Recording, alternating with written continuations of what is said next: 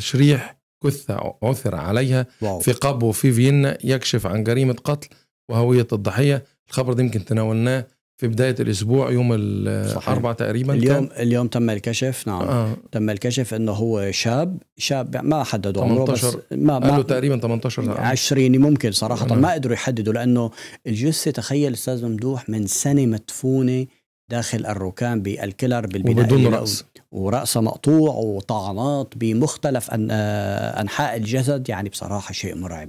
يعني جريمة سياسية ولا جريمة آه، انتقامية هي في كل- انتقامية. في جميع الحالات يعني. فيها تحرش فيها كذا يعني فيها طمس ل ل ل ل حقيقة ل- ما. حقيقة ما بالضبط. يعني شيء مرعب بصراحة. يعني هذا فعليا هاي القضية بتصور رح تعيش مع فيينا لفترة طويلة حتى تنكشف. يعني يا ترى مين بطلها؟ ما يدور آه، مين بطلها بالضبط. لينكشف مين وراها. يعني أول شيء نعرف مين هويه الضحية. هلا سابقا كانوا كان غير معروف أول ما نزل الخبر إنه هو هل هو لرجل أو امرأة. فهلا تبين إنه هو لرجل وشاب صراحة. يعني شيء مؤسف وتم قطع رأسه ودفنه بهذه الطريقة. ومن سنة يمكن المرة والجثة- الثانية بعد والجثة محللة نعم متذكر متحللة. التركي برضو اللي كنا برضو اتكلمنا عنه كان تركي تقريبا ولا كان عراقي اللي قتل صاحبه عشان 10000 يورو وما رضوش تقريبا عراقي عراقي آه تقريبا آه أيوه أيوه نعم. دفنوا تحت السرير هذا. نعم صحيح هذا السنة اللي فاتت دفنوا بس هذا لفترة بسيطة يعني هذا آه. وكان في تحرش جنسي أو علاقة جنسية يعني مثلية وشيء من هذا القبيل يعني.